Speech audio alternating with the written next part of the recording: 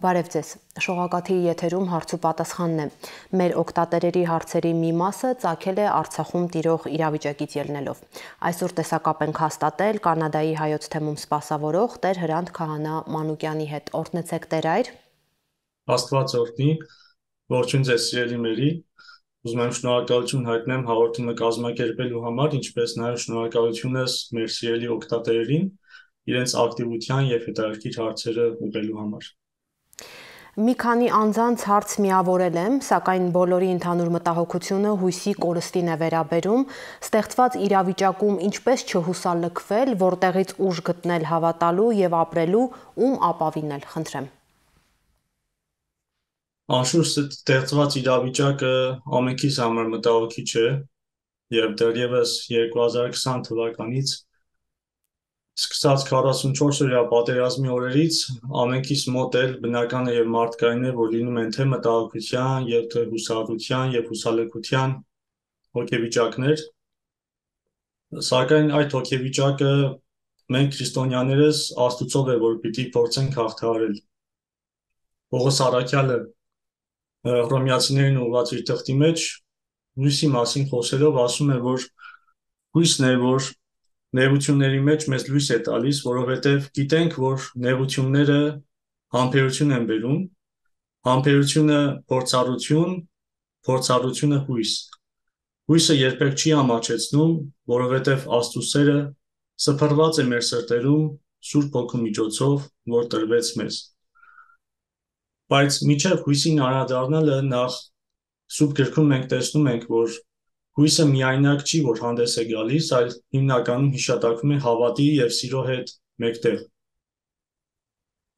Անձնային հարաբերությունների մեջ, եթե մենք որևէ մարդու վրա հույս ենք դնում, նախ այդ մարդուն պիտի սիրենք եւ պիտի հավատանք։ Նաեւ պիտի ճանաչենք մարդուն։ Եվ եթե գանք մարդ եւ Աստված հարաբերություններին, մեր հույսը Աստուծո վրա դնելուց առաջ նախ եւ առաջ պիտի Աստծուն հավատանք եւ սիրենք կատարյալ եւ ճշմարիտ առումով, որի համար պիտի ճանաչենք Աստծուն։ Ինչպես պիտի ճանաչենք Աստվածաշունչի միջոցով, ամենօրյա աղոթքների, ծոմապահության միջոցով Աստծու հետ բարձ մարդ եւ Աստված հարաբերությունը ճիշտ կերպով ունենալով մեր կյանքում։ Եվ երբ որ դրա արդյունքում մեր հույսը ավելի զորացնենք Աստծո հանդեպ, թեկուզ եւ նեղությունների պարագային հուսալքությունը միանգամից չի այցելի մեզ։ Ցավոք սրտի շատ անգամ ականատես ենք լինում նաև շատ մակերեսային հավատի տեսակների, որ մարդիկ տարվա մեջ մի քանի անգամ եկեղեցի այցելելով եւ մոն վարելով կարծում են, որ իրենք քրիստոնյա են Գովելի է, որ իրենք իրենց քրիստոնյա են համարում, բայց քրիստոնյա լինելով մենք ունենք պարտականություններ նաև։ Եվ դրա արդյունքում է, երբ որ ավելի մեր հավատքը զորացնում ենք, հույսը ավելի ամուր է դառնում եւ այս եւ նմանատիպ տեղությունների ժամանակ հուսալքությունը մեզ չի այցելում որովհետև հուսալքությունը կարող է տանել բազմաթիվ մահացու մեղքերի գործելու ընդդուք միջև ինքնասպանության։ Բայց մենք ամուր լինելով մեր հավատի մեջ, պիտի մեր հույսը դնենք միայն եւ միայն Աստծո վրա, ինչը որ այս օրին տեսնում ենք շատ անձեր հույսը կապում են տարբեր գերտերությունների կամ թեկուզ եւ այդ տարբեր միությունների հայտարարությունների վրա, որ Հայաստանը պիտի փրկեն, հայ ժողովրդի հետ պիտի լինեն, մոռանալով մեկ բան, որ քրիստոնյաներս հույսը միայն եւ միայն պիտի դնենք Աստծո վրա, որովհետեւ Աստծո համար չկա անկարելի բան։ Եվ Աստծով զորանանք եւ մեր նպատակներին ամուր կարճած մնալով զորացնենք մեր եկեղեցին եւ հայրենիքը։ Մեր օկտատերերի մի քանի հարց էլ վերաբերում է մարդկանց մեկ-մեկու հանդեպ ատելությանն ու անտարբերությանը, հատկապես հայաստանցի, արցախցի բաժանվելուն։ Չէ որ նույն ազգն ենք, նույն մշակույթի ինքնության կրողները։ Ինչու է սկսվել երկուստեք վիրավորելու, մեղադրելու ընթացքը։ Ինչ մեխանիզմներով կարելի է զսպել եւ հակակշռել նման մարդկանց։ Ցավոք սրտի պիտի նշեմ, որ այս բաժանումը նորություն չէ ինձ համար եւ եթե հիշենք ոչ վաղանցյալում մեր հասարակության իրականության մեջ միշտ էլ եղել են նմանատիպ բաժանումներ լինելով օրինակի համար քաղաքացի գյուղացի կամ տարբեր մարզերի բնորոշումներով, տարբեր կարծրատիպերով եւ ուղակի վերջին հայտնի հանգամանքներից ելնելով այս բաժանությունները, այս տարբերությունները ավելի ցայտուն են դարձել բայց ամեն պարագայի ինչպես հարցի մեջ նշեցիք մենք մեկ հասարակություն ենք մեկ ազգի ենք պատկանում մեկ հավատ եւ մեկ մշակույթ ունենալով եւ ամեն դեպքում դատապարտելի են նման բաժանումներ տնելը եւ հատկապես երբ որ դա տանում է ընդཐུպ միջև ատելության այս շահերը հետապնդողները եւ այս քաղաքականությունը առաջ տանողները վստահաբար բարձից էլ բարձ է որ Հայաստանի հզորությունը չէ նրանց նպատակը որովհետեւ ոչ ապ որ մեր հասարակությունը բաժանված տեսնենք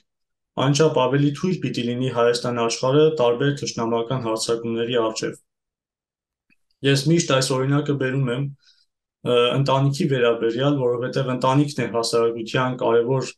մասնիկը, երբ որ երկու անձեր որոշում են ընտանիք կազմել, այդ պահին իրենց ուշադրության կենտրոնում լինում են իրենց ունեցած նմանությունները եւ ոչ թե տարբերությունները։ Իրենք վստահ լինելով, որ եկել են տարբեր ընտանիքներից, տարբեր մտածողություններով, մեկ կողմ են դնում իրենց ունեցած տարբերությունները եւ կենտրոնանում են ունեցած նմանությունների վրա։ Որպես այս հարցի եւ այս խնդրի լուծում ես պիտի առաջարկեմ նախ եւ առաջ մեր մեջ ունենանք ընտանեկան մտածողությունը։ Հայրենիքը մեր մեծ ընտանիքն է։ Եվ ամեն հայ, լինի հայաստանցի, արցախցի կամ որևէ մարզից, քաղաքից կամ գյուղից, մեր քույրը եւ եղբայրն է։ Երբ որ այս սիրով եւ այս մտածումով մոտենանք բոլորին, բարձր որ պիտի ավելի հանդուրժող լինենք բոլոր խնդիրների եւ նեղությունների ժամանակ։ Պիտի հասկանանք, որ մեր ուժը մեր միասնության մեջ է։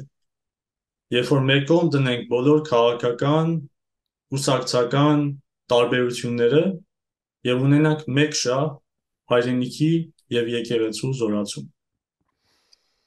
Սխալ է արդյոք տաղավար տոների օրը երեկոյան ժամերգությունից հետո ննջեցյալներին այցելել, չէ՞ որ եկեղեցական օրացույցի համաձայն օրը փոխվում է երեկոյան ժամը 5-ից հետո։ Մարետան է հարցնում։ Ինչպես գիտենք, մեր եկեղեցում կան 5 տաղավար տոներ, որոնց հաջորդող օրերը կոչվում են մեռելոց, մեռելոց հիշատակության օրեր։ Եվ շատ ճիշտ է, որ գերեզմաներ այցելենք մեռելոցին, որը որ հստակ նախատեսված օր է ըստ եկեղեցական տոնացույցի։ Եվ պիտի ջանանք ամեն կերպով կարճած մնանք մեր եկեղեցական օրենքներին եւ ավանդություններին։ Բայց մյուս կողմից եթե նայենք, ցավոք սրտի պիտի նշեմ, որ մի քանի տարի առաջ կառավարության որոշումով մեռելոց օրերը համարվեցին աշխատանքային օրեր եւ այս պարագային ոչ բոլորին է հաջողվում տվյալ ստեղծված իրավիճակում երկու շաբթի օրը ազատ օր վերցնել եւ աշխատանքից բացակայել եւ այցելել գերեզմաններ։ Բայց վերելով նայես Փյուրքի օրինակը,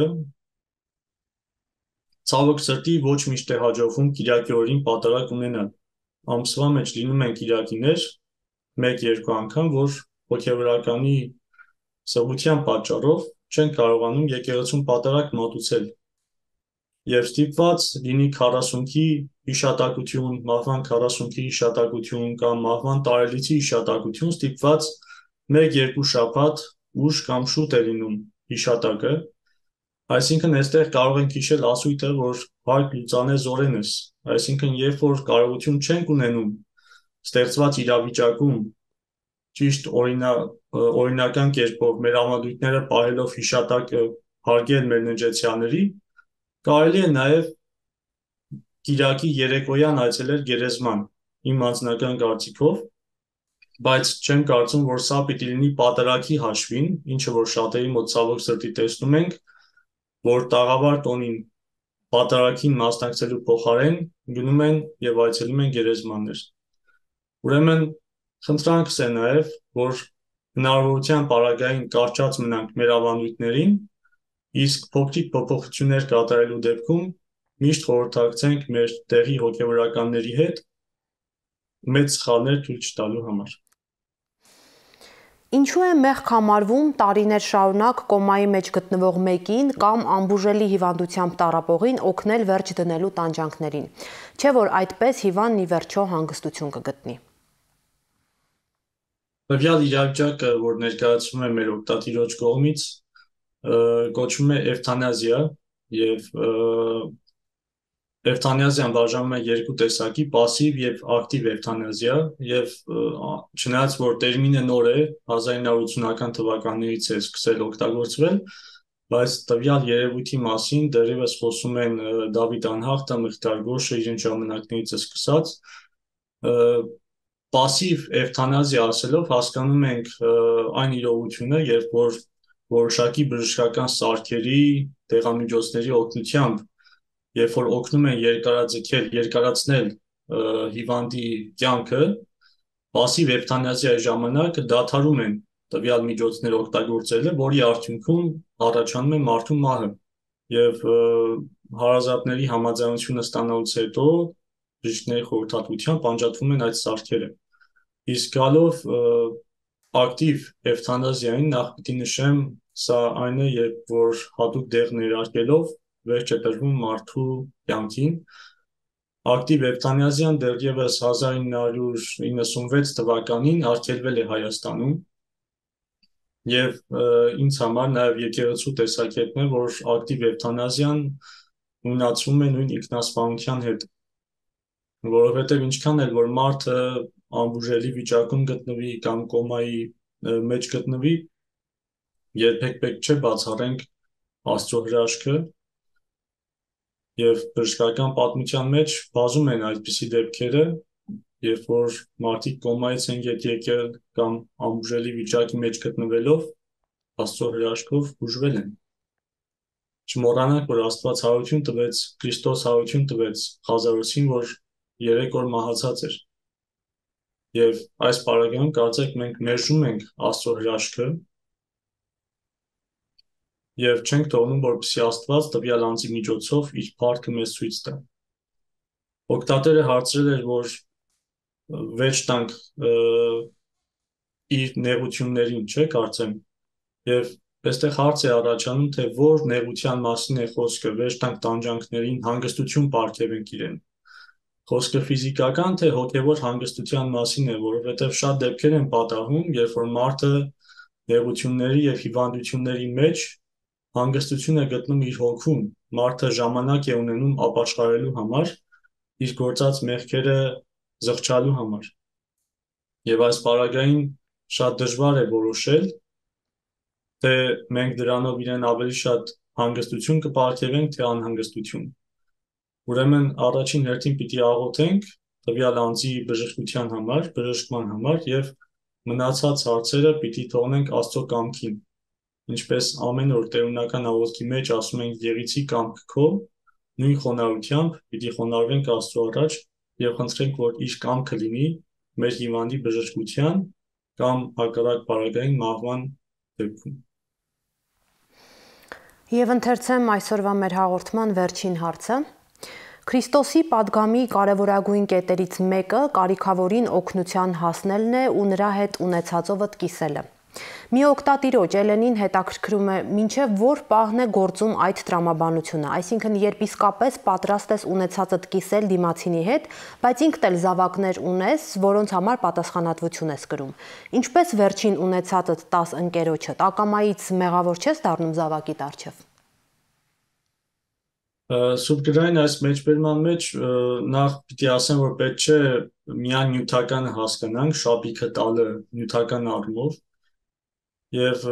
այո, երբ որ տեսնում ենք այսօրվա մեր իրավիճակը օրինակի համար, մեր հայրենակիցները կարիք ունեն նյութականի բայց միայն նյութականը չէ, որ կարող ենք օգնել։ Երբ որ մեզնից մեկը իր ժամանակն է դրամատվում, մեզնից մեկը Աստծո կողմից իրեն տրված շնորհներն է դրամատվում մեր հայրենակիցներին օգնելու համար, դա էլ է օգնություն Բերեմ այստեղի եկեղեցիների օրինակը։ Շատերը իրեն ժամանակը տրամադրում են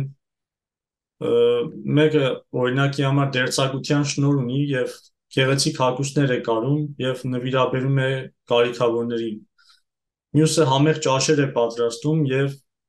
սոված մարդկանց է բաժանում։ Մյուսը իր ժամանակն է տրամադրում գալիս է եկեղեցին է մաքրում, այսինքն Աստվածաշունչի այս մեջբերումը, որ քու շապիկ քո շապիկը դեր պիտի տաս կարիքավորին, պետք չէ բառացի հասկանանք։ Եվ ամենակարևորը, որ մենք մեր խղճի եւ Աստծո առաջ պիտի հանգիստ լինենք։